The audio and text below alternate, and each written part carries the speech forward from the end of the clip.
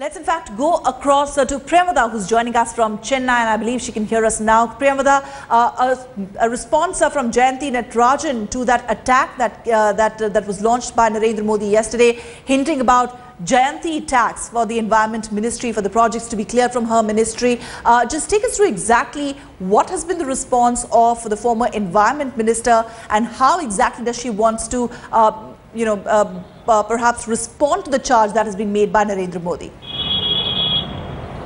Looks like a proper of war, Padmaja, at this point of time. When I spoke to Jayanthi yesterday, she said she doesn't want to come on camera and comment for the simple reason Narendra Modi is talking without facts. He, she's challenging him to present the facts when he calls Jayanthi tax, when he says files were not moving in the Environment Ministry when she was the minister without money. She wants proof for that.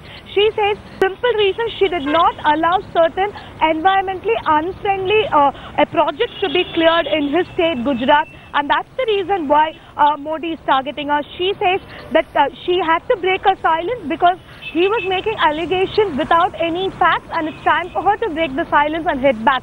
That's the only reason she, uh, Jayanthi says she broke the silence. Also, we know there's been a lot of confusion over the resignation, what happened, why happened, though she still maintains that she resigned to take care of the election campaigning work here in Tamil Nadu.